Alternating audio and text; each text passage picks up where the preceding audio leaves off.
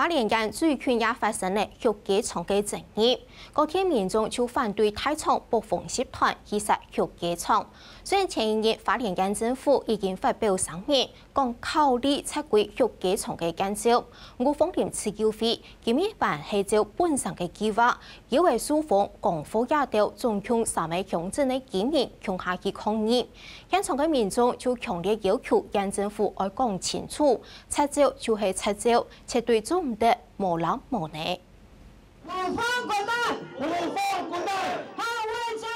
天松市东点情界万山小景风林，基本造型实系人上吵闹，将三乡境内界超过三千界抗议民众，其中多几名工厂反对部分集团限制唔跌动，将会到法电界提供中挑老水烟提掠掉，为其总共六界，总风用量超过三十万只盖二界血界厂。俺房林有有史以来唔识抗议过，水落石壮，不扬气负，聊到动唔掉。那为什么我们选在今天五月二十号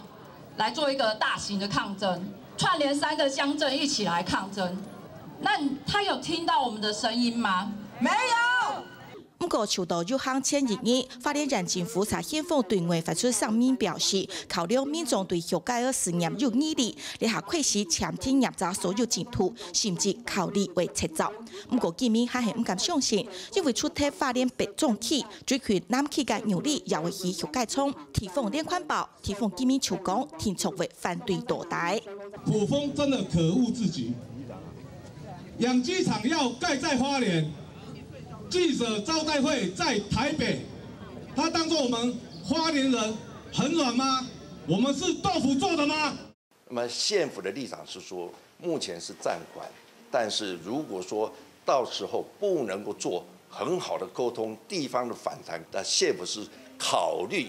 有可能去做撤照的这方面，也是一个选项之一。香港部分集团对发电站发出净土强天上面，强用书面表示威吓。国府以发电站政府为持续跟进维持信诺，业者也希望各老民众沟通，提供持久费空调，出台为操作现金运。其他唔是加工，南白也唔排除各河少民众去到发电站政府抗议。客家新闻冯小琪发电报道。屏东的香蕉也蛮系太出的时期，我今年嘅家事才好点点。